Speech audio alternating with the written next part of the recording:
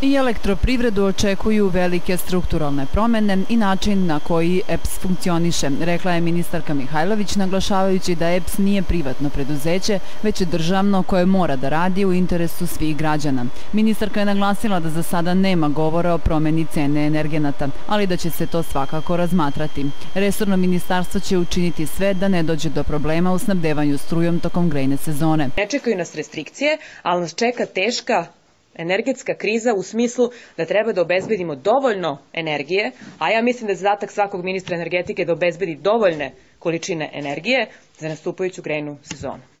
Prema ministarkinim rečima suša je objektivan razlog koji utiče na manjak struje, ali postoje i drugi razlozi zbog kojih EPS najavljuje uvoz struje, a kao najčešći pominju se loša infrastruktura i planovi remonta.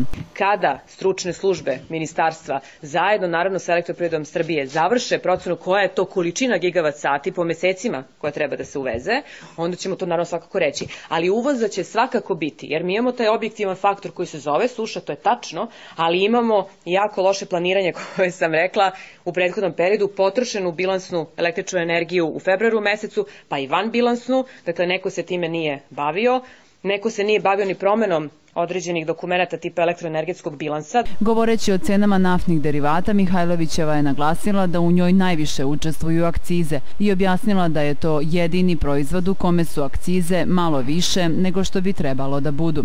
To je međutim jedan od proizvoda od kojeg u budžet može da se slije određena količina novca, što može da pomogne u smanjenju trenutno velikog budžetskog deficita, zaključila je ministarka Mihajlović.